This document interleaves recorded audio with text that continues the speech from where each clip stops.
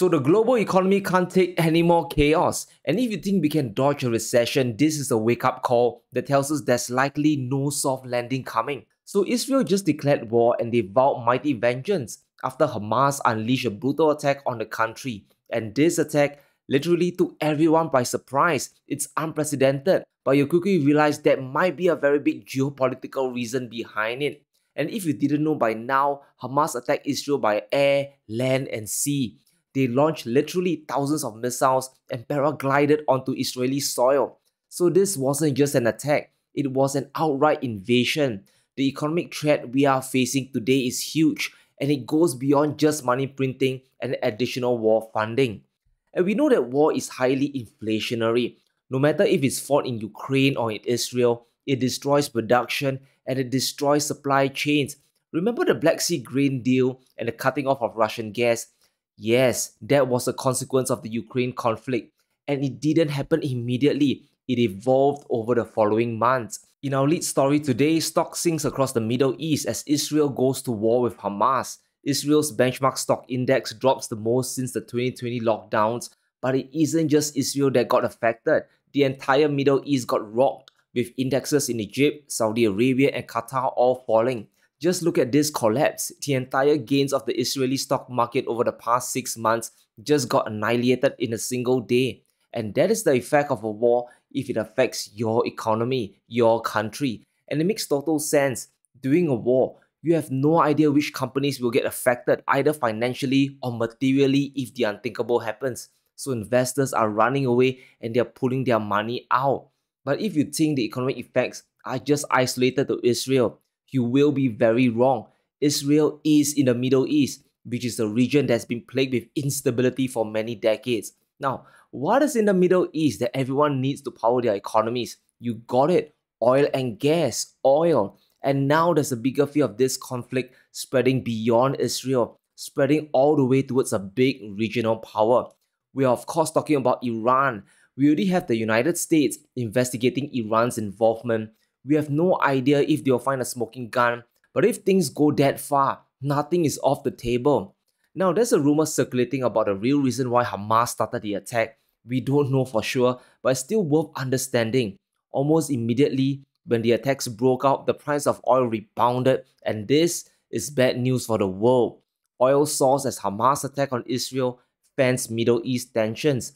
Oil prices soared by 4%, as a war risk premium returns to the oil producing region. Looking at the price of Brent in West Texas, we can see this immediate spike up, and this rebound is even bigger than any of the production cuts done by Russia or Saudi Arabia.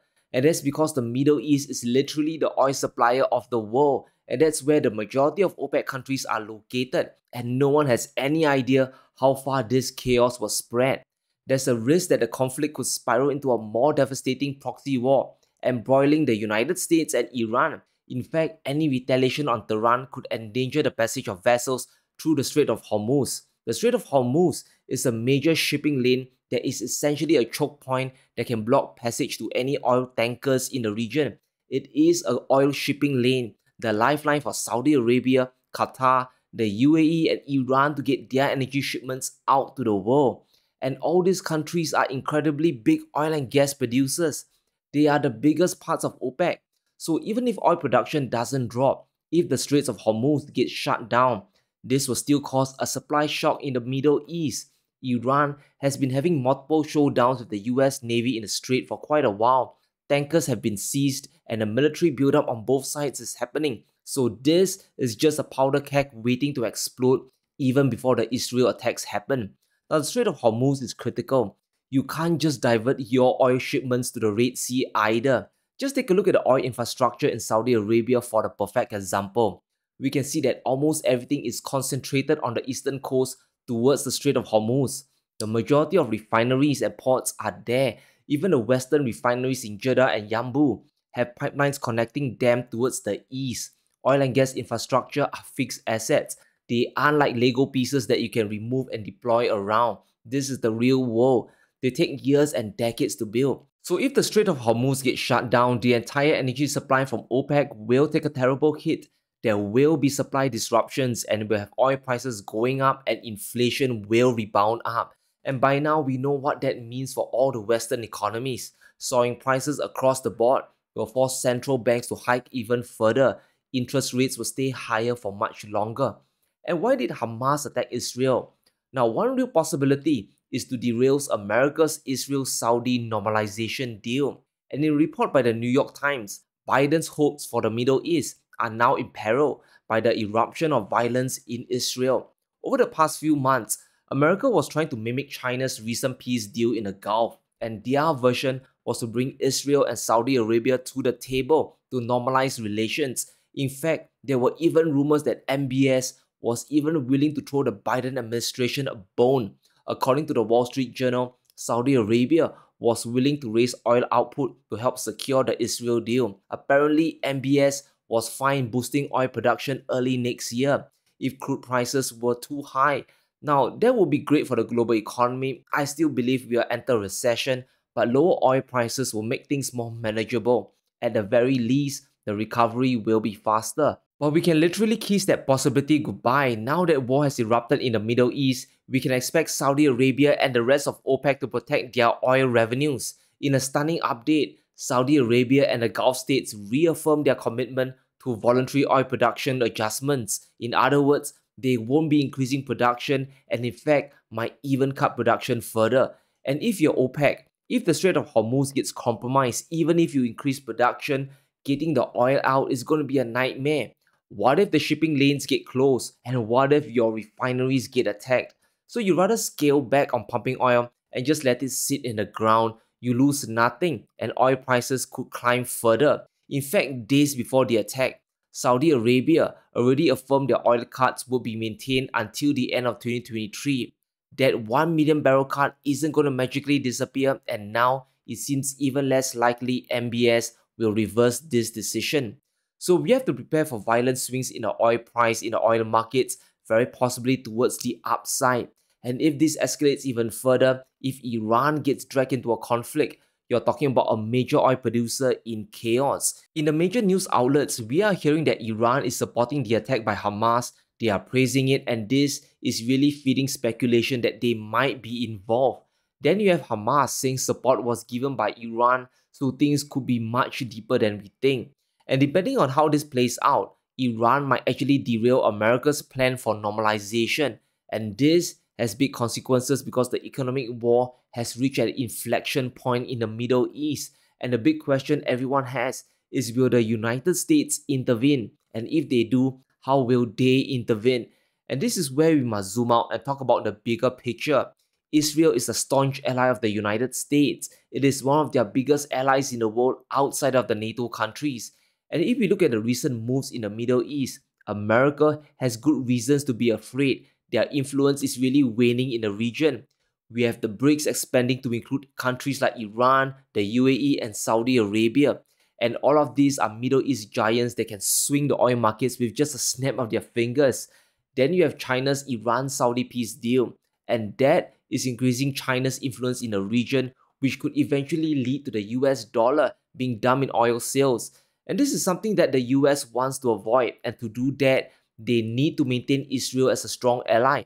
They can't afford it to fall or even be weakened. And guess what? America has now pledged to increase military aid to Israel, and this has incredible economic impacts. Remember, this is being done while a hot war in Ukraine is still being fought, and that conflict is far from over. So it's not surprising that the United States is now sending a carrier strike group closer to Israel, as well as supplying munitions to the country and this is a big mobilization that could lead to further escalations. And it's not just the USS Gerald Ford aircraft carrier being mobilized, it is a whole team of destroyers and cruiser will be sent in as well. Now, Lloyd Austin, the Secretary of Defense, is also pledging increased support. In addition, the United States government will be rapidly providing the Israeli Defense Forces with additional equipment and resources, including munitions. And I think we can see where this will bring the US economy towards. The final destination is even more deficit spending and the borrowing of money. But strategy wise, America can't afford to abandon Israel because if they do, just think of the cascading effects, it will be magnitudes worse than the Afghanistan withdrawal. And if you think that was bad, this will be 10 times worse. You'll see the Gulf states immediately question America's defense commitment to the region and that will open up a power vacuum for China or even Russia to fail. And what's at stake here is the future of America's ambitions in the Middle East. And we can all remember what went down during the G20 summit. America and the EU announced an ambitious trade corridor project that links Europe, the Middle East, and India together. The corridor cuts through the Middle East, and if the Gulf is in turmoil or worse at war, then America's plan to rival the Belt Road has essentially collapsed. American interest in the Middle East is mission critical to them. Biden himself has pledged America to Israel's cause, saying, My administration's support for Israel's security is rock solid and unwavering. So it is important to look at this from an American perspective. And once you do, you kind of realize that America's intervention by sending support to Israel is inevitable. They have no choice. It's bound to happen because if they don't, their influence in the region will just evaporate. Then all kinds of nasty stuff can happen to America's economy back home more de-dollarization will happen and the BRICS will only get stronger versus the G7. So defending Israel is existential for the United States. Now let's talk about the economic impacts because this is big. It's another flashpoint for this global economy which is already on the brink of collapse. Now inflation is still disgustingly high. Bond yields are still heading up. Businesses are going bankrupt and this situation is going from bad to worse. And let's focus on the US dollar first. The dollar index has been strengthening over the past three months. As we move towards a global recession, the world is starting to buy more dollars, causing it to strengthen from under 100 points to over 106. Now, this isn't good for the global economy because it causes everything to get much more expensive. For countries like Japan that imports a ton of commodities like oil and gas, this causes higher local inflation back home. Now that the Middle East is in chaos and Israel is at war, this opens up yet another can of worms, and when instability happens, people run towards either gold or the US dollar as a safe haven.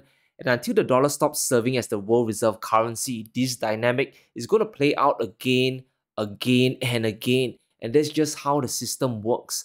So if this conflict escalates, we are going to see a bigger rush to the dollar and cause the dollar index to spike further. And this will cause another global currency crisis. In a report by Reuters, the outbreak of military conflict in the Middle East may leave central bankers battling new inflationary trends as well as deal a blow to economic confidence.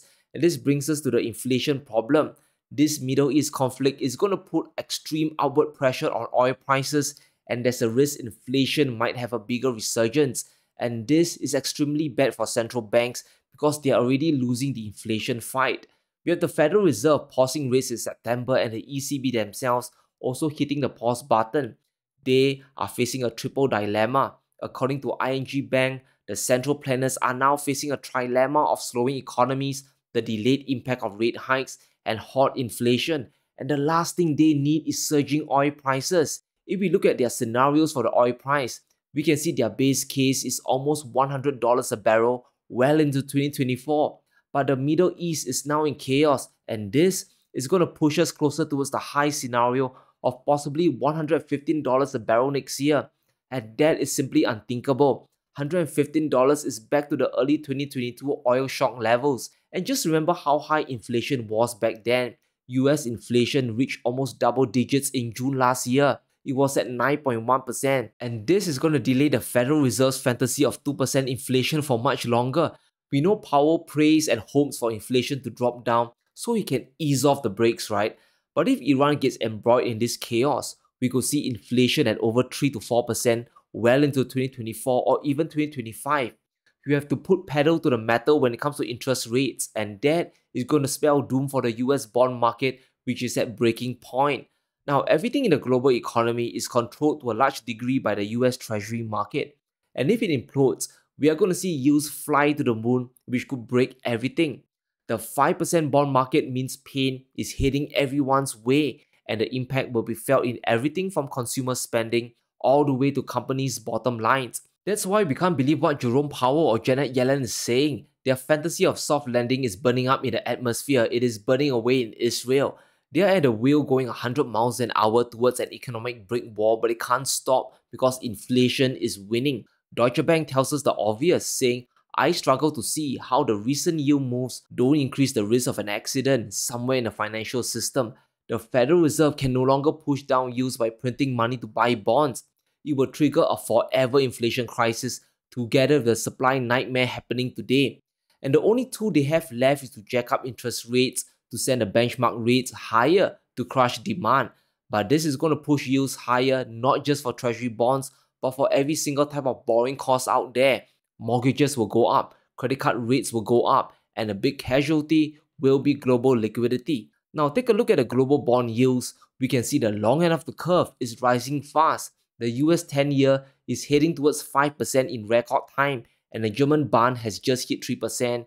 Even Japan's 10 year yield is approaching 1% even though they're actively doing yield curve control. What we are seeing is a global melt up in bond yields which is pushing everything to the breaking point. And if the war escalates, Janet Yellen has to ramp up bond issuance to finance America's defense spending for Israel. We have to factor that into the equation. And if you believe things can't get worse, we have a US senator calling for retaliation if things really escalate. And here's what Republican Senator Lindsey Graham said an attack by Hezbollah and other Iranian proxies would be devastating to Israeli defense system.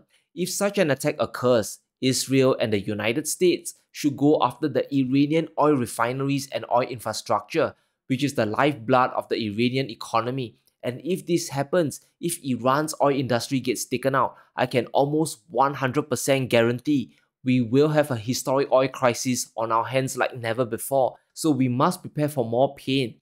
We are living in an age of war. Inflation is here to stay and things will likely get worse before they get better. But let me know what you think in the comments below. Will the Israel war escalate and involve the entire Middle East? And how bad can this really get? Let me know in the comments below. Stay safe. Be sure to smash the like button and subscribe as we navigate through these crazy times.